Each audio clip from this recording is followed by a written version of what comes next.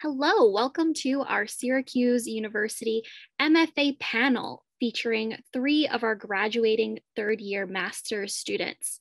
We have Maya, Aanchal, and Brett. We're here today to highlight their artistic achievements and to discuss how their work in fibers and mat other material studies relates to larger questions of identity, heritage, materiality, and more. Before we jump into some burning questions, um, we're going to have each of our panelists introduce themselves. My name is Maya Stern. Uh, my thesis title is Stern in German means star. Stern in Yiddish also means star. Uh, I'm presenting at the Community Folk Art Center in Syracuse, New York. My work explores my family's complicated history of lost Jewish identity and the contrary involvement during World War II. I'm able to engage in this history through an archive that's been developed by my ancestors and using components of these various objects, photographs, writings, I'm able to deconstruct them. I utilize materials and techniques that can be unwound, discolored, or aged to depict, if not honor, the mutable nature of memory. So there are two things that really inform my arts practice, one of which is printmaking. My background is in print media, um, the way I see it, printmaking is at its at its basis when it's stripped down to absolutely nothing else. It is a transfer of information or knowledge from one surface to the next. You have the matrix, which contains all information, which is passed on to its substrate. However, it's passed is how it's passed. I see this to really represent the same way a conversation might between two different individuals. Um, the second thing that really informs my practice is artifact. Um, though I use these artifacts um, like photographs, writings, what have you, um, they are never presented in a way that is um, ever describing any sort of legitimacy and storyline. They're always breaking down or otherwise deteriorating through some sort of manual, intentional um, destruction. So in this uh, circumstance, these three um, different photographs were scanned uh, with 50 DPI resolution until the image basically wiped away. They're presented on um, unfired ceramic. Um, so this is my thesis work, which I'm presenting at CFAC. It's called Opposites Attract. This is a woven screen print made with bleach.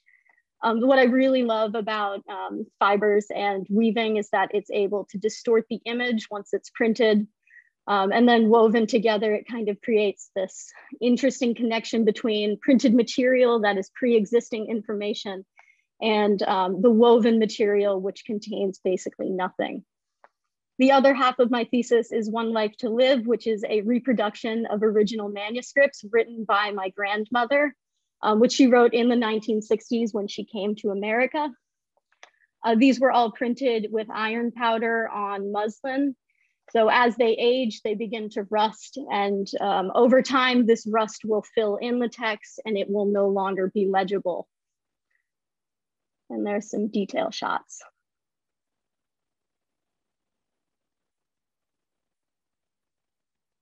Everyone, my name is Aanchal Raisahib. My work is part of the MFA thesis exhibition Carrying the Thick Present, and I'm presenting at the Syracuse University Art Museum. So the, some of the themes that inspire my work are cultural displacement and a loss of identity. I moved from India to the United States in 2017, and this experience of moving from one country to another is what inspires my practice. You know, I talk about themes of cultural identity, longing, and nostalgia through my work. And one thing I use in order to talk about these is material that, that holds personal or cultural significance and that you know that familiarity of the material acts as a constant you know in this chaos of uncertainty and cultural displacement. That material allows me to create narratives that can address identity longing and nostalgia. So to talk about the work that's in the show i wanted to start off with this sculpture. Um, so this is called a precarious life. And i wanted to you know, honor this experience of building a new life in a new country. And, you know, the egg is the universal form for a new life, a potential. moving forward, you know, looking forward to something. But I've covered it with basmati rice, which is a material, you know, that's Indian. But other than the fact that, you know, basmati rice is considered a premium quality of rice because of the length of the grain. But back in India,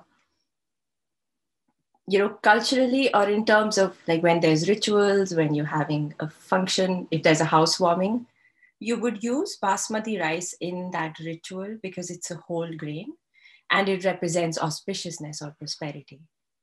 So, you know, here I'm trying to cover the surface of the egg with the rice in order to create this new life or it's it's very similar to you know the aspirations that you come with to this country and so i wanted to build that new life for myself so that's what the egg represents here's a detailed shot of what the close up looks like. Um, because, you know, other than the aspirations, there's also the aspect of a looming uncertainty, be it administrative challenges or personal. There's always, you never know what the future holds. So there's always a sense of precarity or uncertainty in this life. And I wanted to encompass all of that in this work. The other work that's in the show are these portals. They're titled Portals Reweaving the Present. So, as someone who is, you know, I haven't visited India in two years, more than two years, but you know, the physical distance also distances you psychologically. So, as someone who's standing on the boundary, I'm able to look back with a critical lens. And one thing that has allowed me to do is realize that I grew up in, you know, amongst a lot of patriarchy and misogyny which has caused me to internalize that. And now it's up to me to undo it. So the portals act as a mechanism for that introspection. And the way that I've approached this is through the deconstruction of material. So they're essentially weavings. I've built a framework for myself. And, you know, I, I wanted to talk about this, um, you know, fabric as a foundation. We talk about the fabric of a society or the space time fabric. So I wanted to use that metaphor of fabric as a foundation to build a new foundation for myself.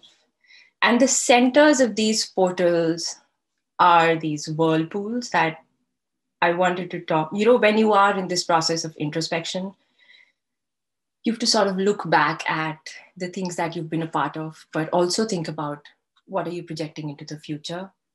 So it's a lot of going back and forth. There's a lot of going inside and looking at you know what are the values and beliefs that i want to go forward with and what are the things that i want to get rid of. So there's a lot of movement that's happening and the centers represent that. But the materials that i used you know again going back to this idea of cultural significance there are saris there are headscarves. So there are all these materials that represent certain like they can be gendered they can be feminine or masculine. But when i break them down and combine them i'm creating this new foundation that allows change. Um, yeah. And here's a detailed piece of what it looks like up close. Thank you. Hello i am brett and i'm an artist from central pennsylvania that works in ceramics and fibers uh, I'm a part of the MFA thesis exhibition here at Syracuse University. Um, and my series of works is titled Wish You Were Here, Wish You Were Queer. So a lot of my work started in ceramics. And um, as I started to come to grad school, I was working with a lot of um, domestic objects from the home that were already fired. So I began altering them, um, sort of rediscovering, discovering, unearthing uh, subtexts or alternative stories out of these very like normative, sort of um, rural middle class objects that are often found in a lot of American homes. Um, so I would, you know, I would take and etch things away or I would carve things away.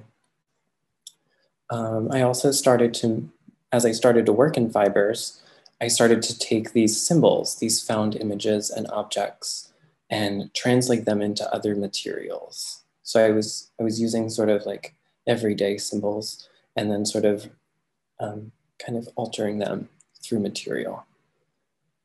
Uh, and then I was I'm also really interested in place. So I think identity and gender, um, and sort of how our objects around us sort of influence or define the stories that we tell or the stories we tell ourselves about identity. So these two plates um, are actually from my hometown that I've altered and added to uh, into sort of a way of like contemporizing or showing sort of a more present history. I think a lot of the objects, the banal, the everyday objects that I find sort of push and pull against this idea of like a nostalgic past that um, so much of these objects commemorate or memorialize uh, and make it sort of about the present and also potential futures. So the work that I'm presenting at the exhibition, like I said, is titled Wish You Were Here, Wish You Were Queer. So there are three large scale quilts and one um, larger weaving. So as I started to make this work, I, you know, I think I was for sure sort of longing for a physical presence from people. I was missing friendships and family. And I, I, began sort of collecting these things, juxtaposing different materials and objects and images together, um, sort of using my own personal queer sensibility, uh, you know, patching things together, layering things, um, and then making these, these quilts that I think for me really have to do with pushing and pulling between masculinity and femininity, um, urban and rural, um, and like I said, a past, a present, and a future. So a lot of these materials I do get from yard sales or thrift stores or um, estate auctions. And I sort of pull them all together and make these larger works with. So this is the first one as you enter the museum, Fancy Farm Boy, a familiar stranger. So this is a large quilt made of all denim um, one side of the denim is faced with this like pink glittery material. Um, and then so patched together and then also quilted through um, the image of a keystone, which is like the logo for Pennsylvania. So this is sort of a self-portrait, if you will. The second piece is Too Much is Never Enough, uh, which is a, a, weaving made with um, men's neckties. So those are actually neckties woven together to create this weaving, um, with the base being like a camouflage netting. So I think, you know, for this one, I think it's really pushing and pulling with the masculine, talking about the masculinity of sort of the place where, you know, I was raised, but also how that affects sort of contemporary culture and politics. Um, the third piece is titled All in a Day's Work, which for me is like an exploration of gender fluidity, if you will. Um, thinking about sort of baby blankets or sort of projections as we're children, whether we're boys or if we're girls, and what that depends, um, what that influences what we do or how we speak or what we wear. Um, and so for me, this is sort of a, just a mashup of everything, and I really think it's quite beautiful. Um, here's a detail princesses, cowboys, Elvis, um, with all these like beautiful little flower, like knotted flowers, um, glittery stars. So I think I think it's humorous and also sort of also serious in a way. This is the final piece. Um, proceed with caution, acting out. And with this piece, I was really thinking about, as a queer person, sort of the labels that we get projected onto us um, because of, you know, how we act, how we speak, um, but also seeing through that. Um, so there's this repeated sort of floral motif that I've quilted, and the quilting actually does go all the way through the quilt. So um, unfortunately with the exhibition, you can't really see the back of it, but the, the floral motif is sort of what goes through the entire piece rather than the words that are kind of thrown only on the surface. Thank you so much for introducing yourselves and your work. I have a wide range of questions for our, for our panelists um, based on materials to process to subject matter and a little bit more context. To kick us off, I just have a few general questions based on the images that you shared with us um, for your current work in the show. So, uh, would you be able to each take a moment to walk our audience a bit through what the space is like, or if there is some sort of direction or temporal reading um, for our virtual audiences for how to navigate all of your works. I would like for people to honestly navigate through it how they find best, um, but do look at it from afar and then up close. Um, there is a difference definitely in the way that the the works appear from far away rather than when you take a much closer uh, look at them. Um, you'll find some really interesting subtleties in terms of the texture in rust printing, as you might with um, the gaps between uh, even the image when you're looking at my weaving. Um, so I think from afar and up close is probably the best best way. Yeah, I think I, for me, it's pretty much the same thing as that so you can you know you can look at them from far away or you can look at them up close. But if there was an ideal way i would say start from a distance. And then i hope that the work invites you in. Because with both the works there's a lot that's happening on the surface. So when you're there when you're up close then i want you to start noticing those details.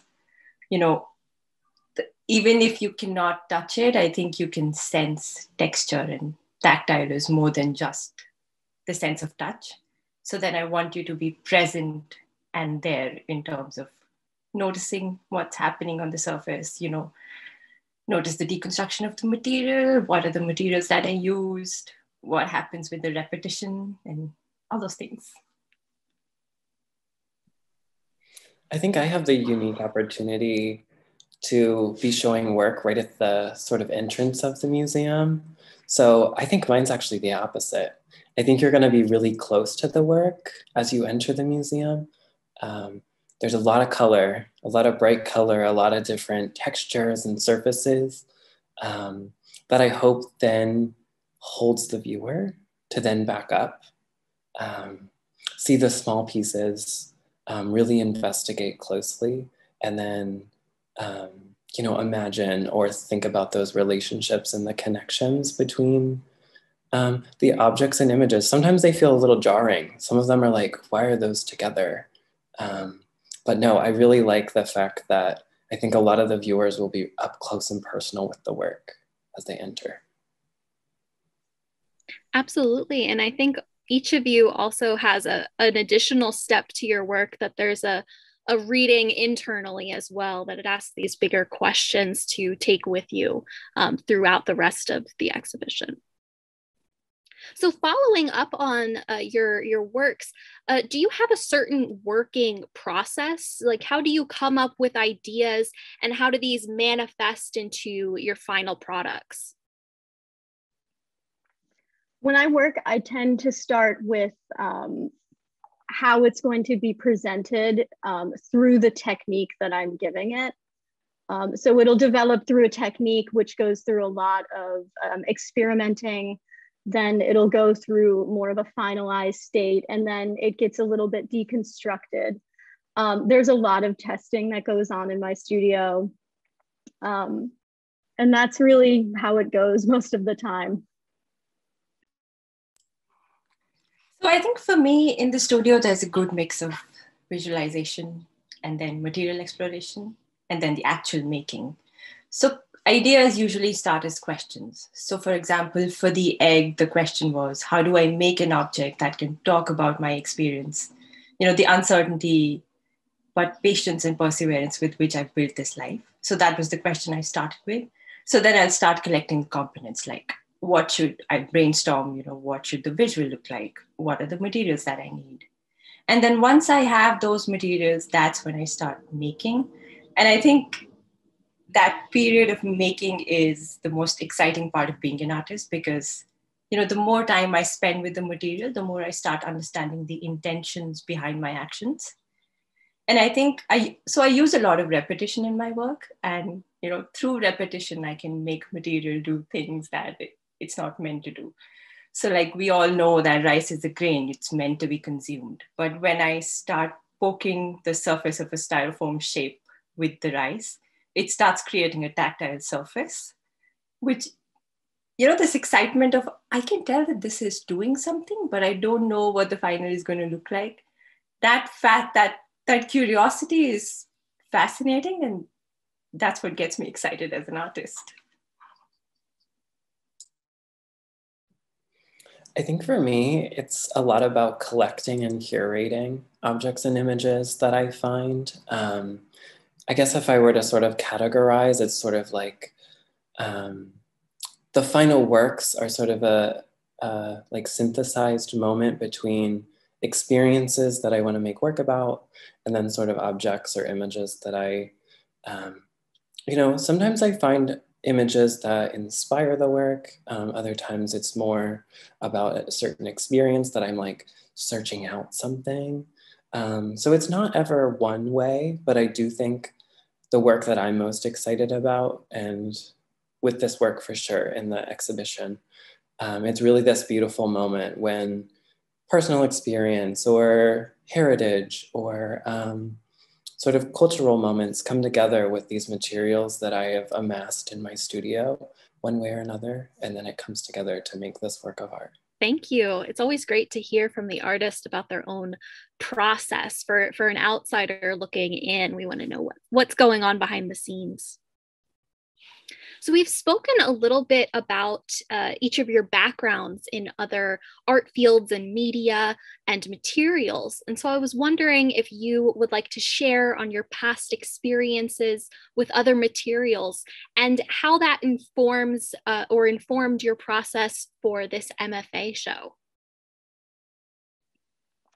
So my background is in printmaking and printmaking will always be single-handedly one of the the biggest pieces of my practice. Um, I'm really interested in the way that printmaking, though it is intended to be a multiple, something that is identical, can have this extremely unique and um, totally one-off quality um, when it's done in a totally non-traditional way. Um, that's how I'm always informed. What can you do with the singular impression how can it be different than something that is meant to represent something identical? What can you do that makes printmaking something that can inform a viewer? Um, historically, it is used as something that was meant to kind of pass along information and knowledge. Um, so I like to kind of honor that tradition and history in my work. So I did my undergrad with a specialization in printmaking, and I used to do a lot of etching and aquatint. So etching is when you prepare the surface of a copper plate and you bite it with acid. So there's a certain number of steps and procedures that you need to complete in, in order to get to that final image. And you know, you can never be sure of what that print is going to look like when you're making that plate. And this this process is I see it as a collaboration with the medium because it's chemistry. There's only a certain extent to which you can, you know, interfere. The material will do its thing. The medium is going to do its thing. And so when I'm working in the studio today, I think it's very similar to that in that I'm working with the material and its limitations.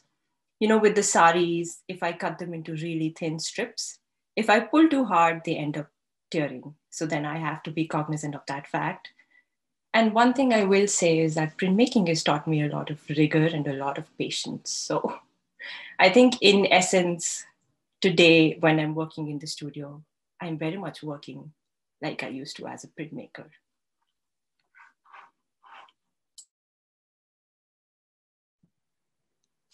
So my background is in ceramics and I still work in ceramics. So I think I work in both. Um, I think what ceramics sort of taught me and working within ceramics is that a lot of my work has to do with surface. And I think the ceramic process has much more at times to do with forms and bodies and vessels. Um, and I think my work going back and forth between the two, um, like thinking about the quilts in the exhibition, those for me are so much more about coverings or about skins or about surfaces um, you know, what's projected onto the surface, what do we wear, um, how do we protect ourselves in, you know, in relation to comfort or discomfort. Um, so I think it's sort of a balance, you know, I think often in, my, in the past, I felt like at odds with ceramics because I think those internal things, the more body um, vessel for, like forms or like moments in the ceramic process with raw clay. Um, so that's a huge difference as well, working with raw clay versus like a fired object that I can then alter mainly only on its surface.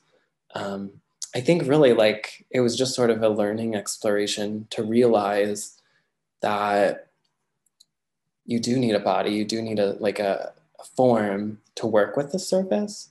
But I think I'm so much more interested on like the sort of external qualities of ceramic.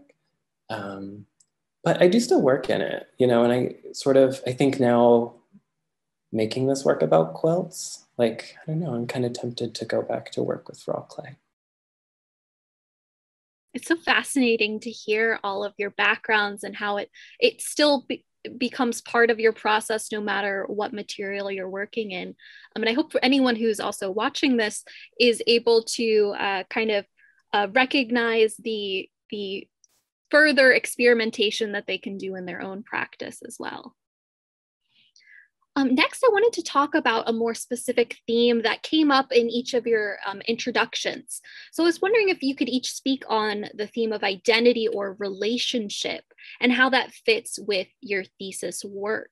Um, is there a lived experience or moment in your own life that influences the forms and subjects of this specific show? So every week um, I would learn about my ancestry in the car as my grandmother, who I was not allowed to call grandmother, it was only Omi and nothing but Omi.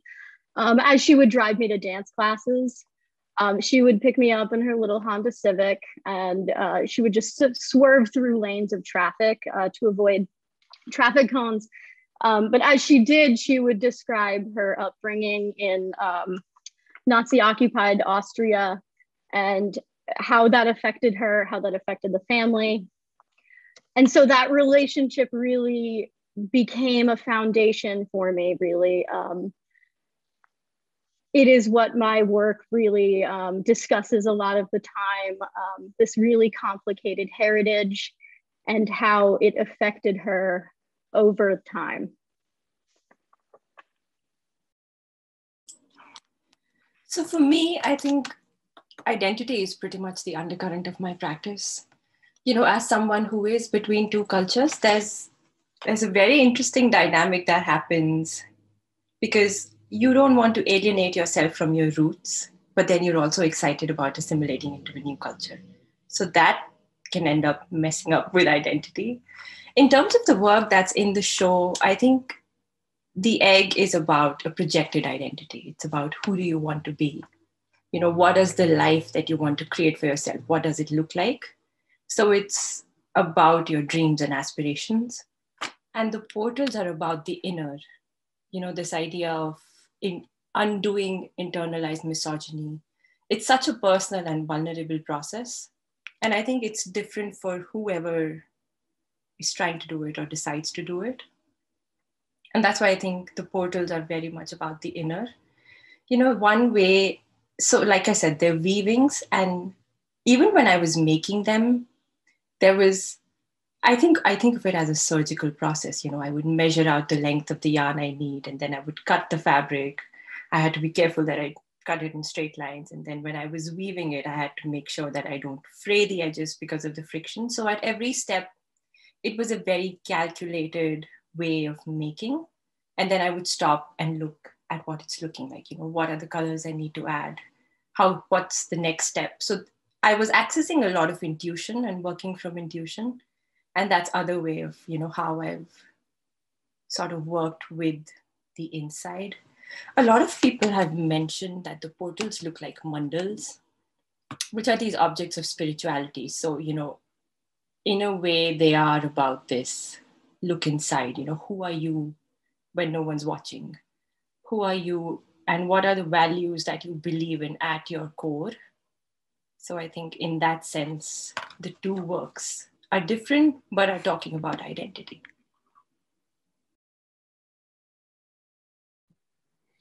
I think for me, the work that's in the exhibition is the first time that I really directly made work about the women in my life that have essentially loved me since I was born. Um, my mother, my grandmothers, my great grandmothers.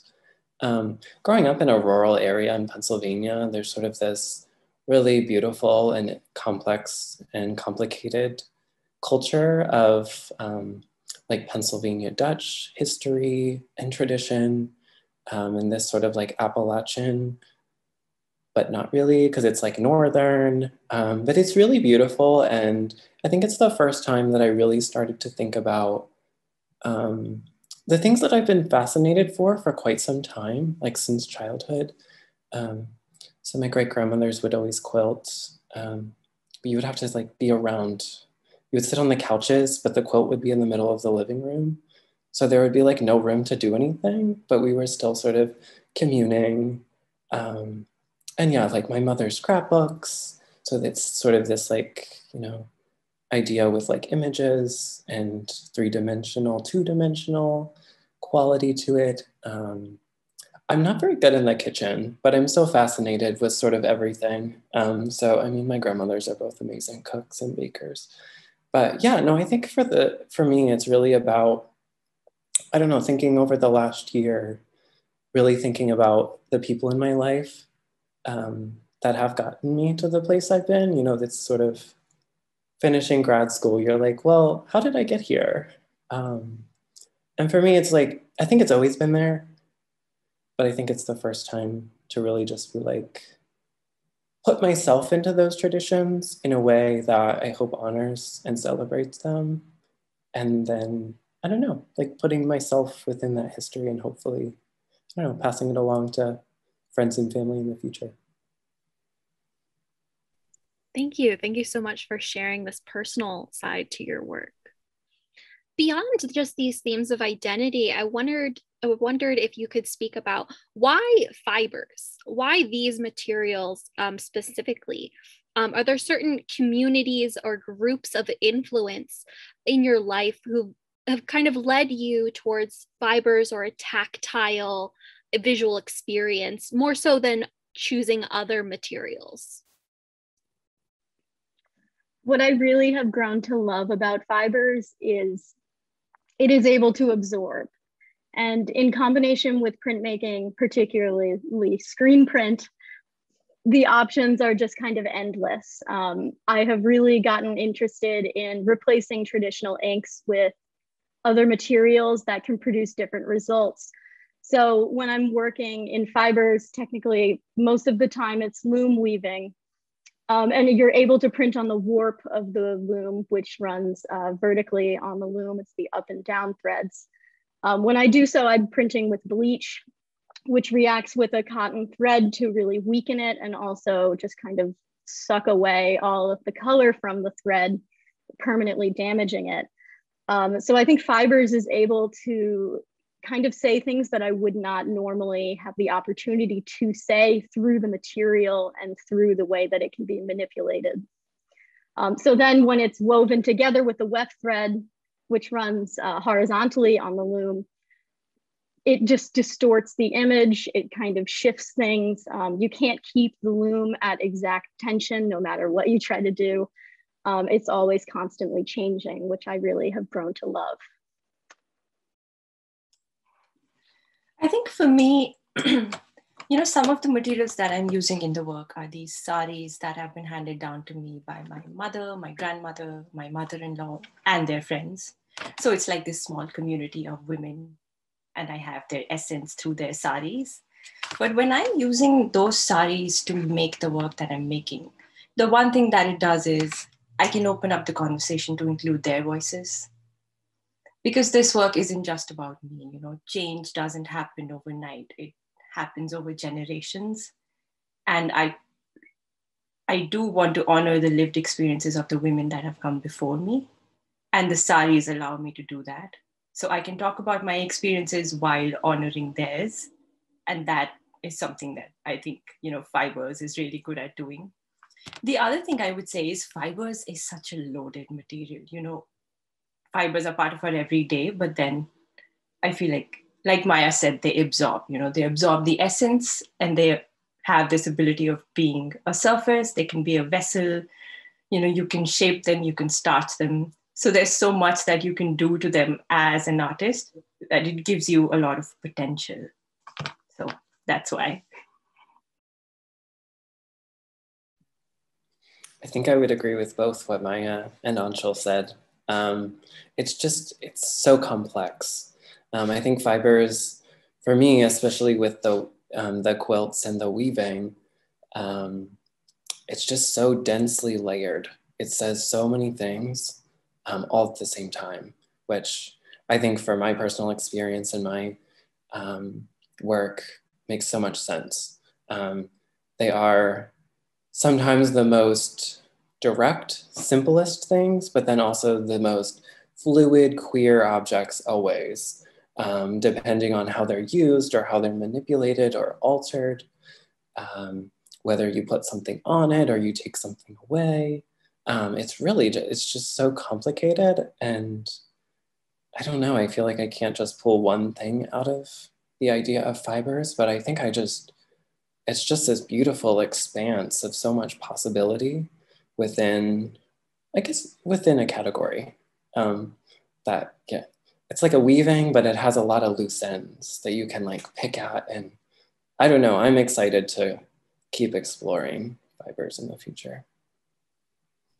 Excellent. Yeah, I agree with all of those sentiments as well. And um, I think this material is something that uh, so many people are are familiar with. It's in our day to day lives, um, and your work all speaks to what can go beyond just the lived day to day experience with fibers.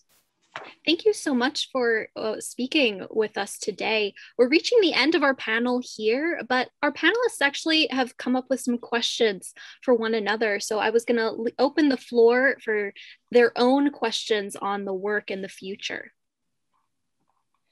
So I have a question for Brett and Maya. I mean, I've seen the work that you've made in the last three years, and I'm so proud of the trajectory that you've taken. But I'm really curious about how you access freedom in your work and how are you thinking about freedom when you're making work?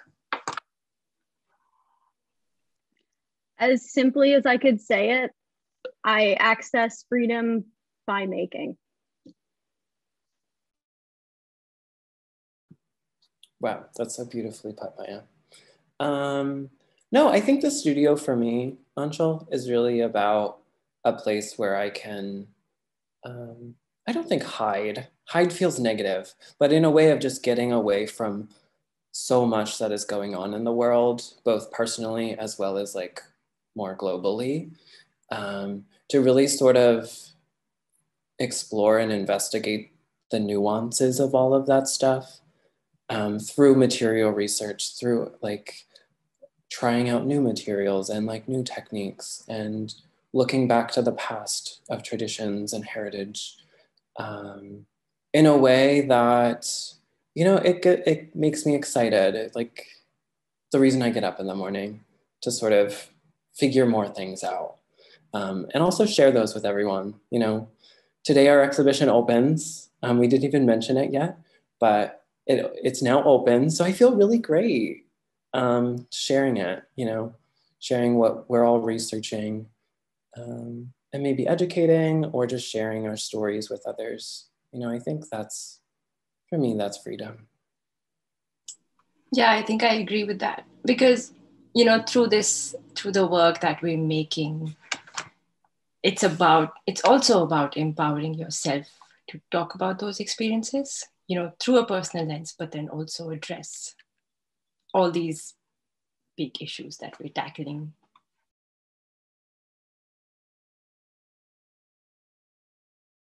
Okay, I have a question for Maya and Aanchal. Um, so, I mean, we're like nearing the end of our MFA experience. It's been three long, short, amazing, beautiful years is there anything you would have, you know, liked to know, or maybe 2021, what you would have shared with you three years ago? I think like first and foremost, there is like no limit to the amount of experiments you can do, no matter like how many things go wrong. Um, and when those things do go wrong, it doesn't mean it's a failure whatsoever. It actually is like so positive because you figured something out by doing that failure. Um, so really don't stop working. You are the carrier of what you know. So you know it best. I think I would agree with that. I would ask myself to get out of my way sooner.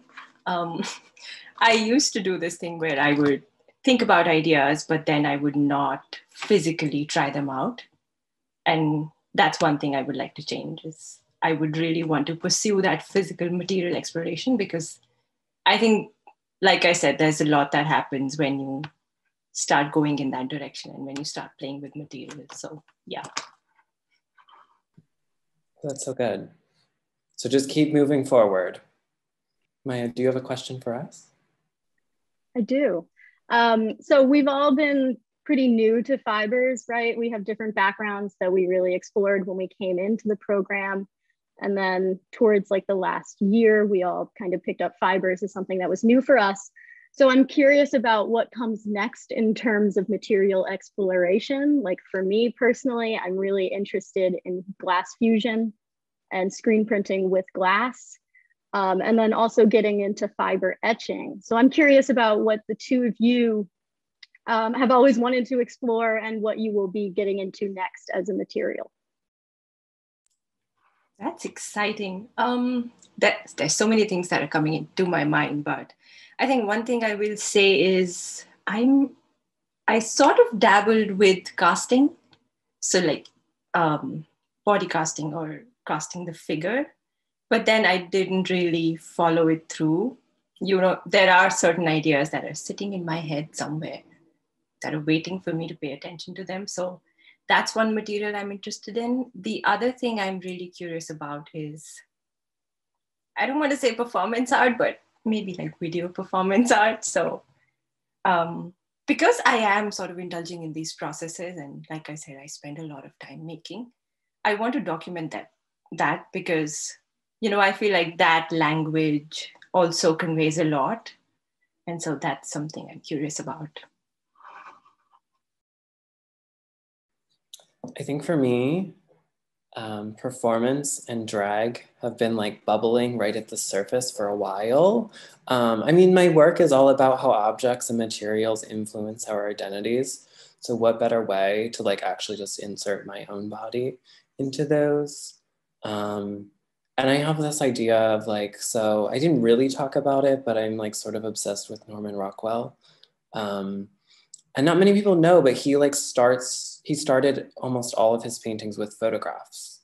So I'm really interested in like the near future to sort of make scenes or like so the objects maybe become more props and then back to an image and then you know maybe full circle right back to ceramics um, so then my face is on a plate Thank you so much. It's so great to hear all of the, the, the, future work that we'll, we'll see from you all. I wanted to thank our audience for joining us today on this panel. And we encourage you to go check out their work that's currently on view uh, to really get the, the in-person experience of all of these ideas that we've talked about today. Thank you all. Um, I hope you enjoyed our, our kind of recording of our panel and feel free to reach out to us if you have further questions that you wanted to explore with this work.